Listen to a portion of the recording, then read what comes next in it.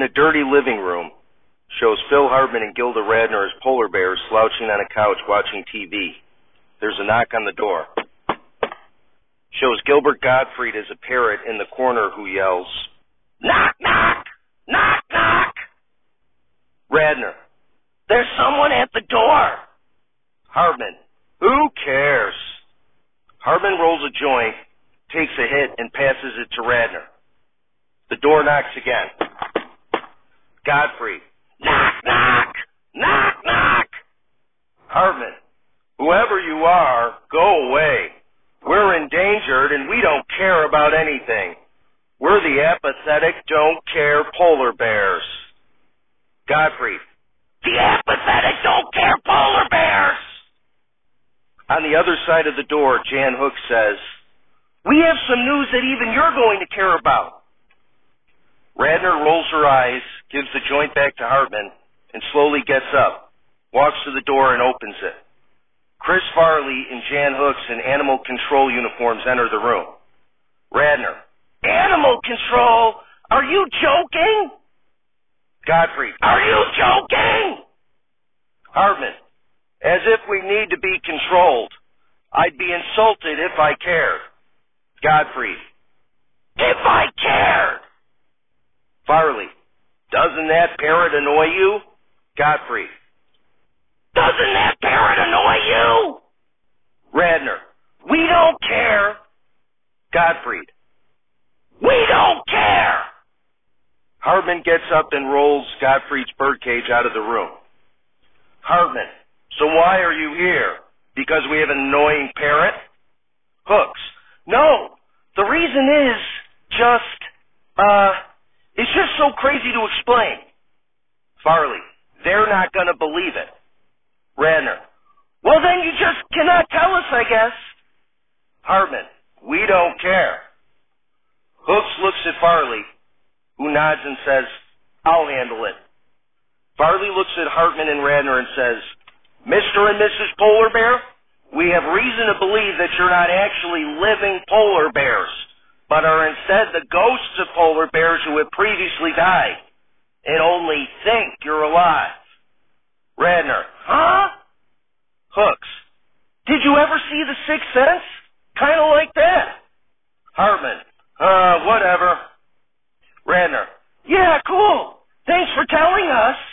I guess now you'll be leaving? Farley, not so fast.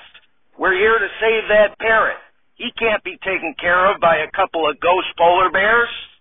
And you were pretty rough with him when you rolled him out of the room. Hartman, okay, whatever, take him. We don't care. Radner, eh, good riddance. Hooks, really? You're not going to put up a fight or anything? Hartman, we don't care, dead or alive. We are resigned to our endangered plight. Nothing at all matters. We're just a couple of white bears living on a pile of rock that spins around a star, man. Hartman smokes the joint and hands it to Radner. Radner. And even if we're dead, what does that matter? Nothing seems different. We do the same things anyway, so who cares? Farley. Oh, come on. Aren't you going to put up some sort of resistance or something? Or have an epiphany from the stark realization that you're already dead? Hartman. Nah. Hartman and Radner sit back on the couch and finish off the joint. Farley sighs and says, ah, Now, fellas. You hear something strange, and it don't sound good. Who are you gonna call? Ghoul Busters! John Belushi, Harold Ramis, Peter Aykroyd, and Richard Pryor run into the home in brown jumpsuits. Belushi, boy, Slimer? Are these the dead squatters? Farley, yeah, but they don't even care. They don't care about the parrot. They don't even care that they're dead and didn't even know it.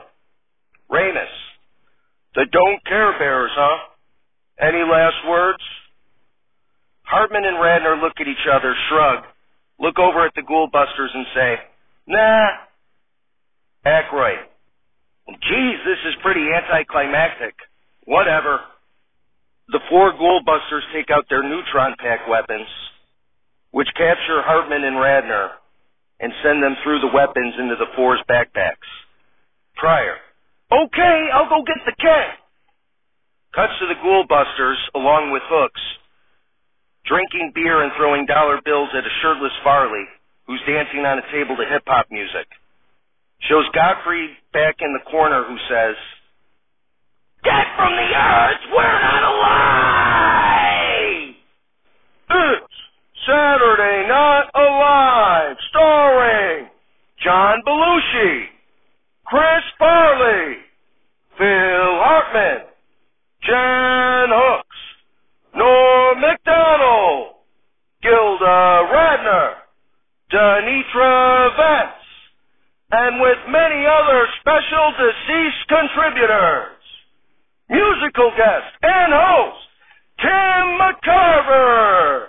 Everybody, Tim McCarver. Applause, applause, applause. McCarver. Thank you, thank you. I had a wonderful life as a Hall of Fame professional baseball player and later as a baseball color commentator. I was a two-time All-Star and two-time World Series champion and later a three-time Emmy Award winner as a color commentator, getting to cover 23 World Series and 20 All-Star games. Applause, applause, applause. McCarver. You might be surprised I'm the musical guest as well. But in 2009, I released a cover album of jazz standards entitled Tim McCarver Sings Songs from the Great American Songbook. Shows John Belushi in the audience who stands up and says, What? No way. You're the baseball guy from Fox. No way you can play music.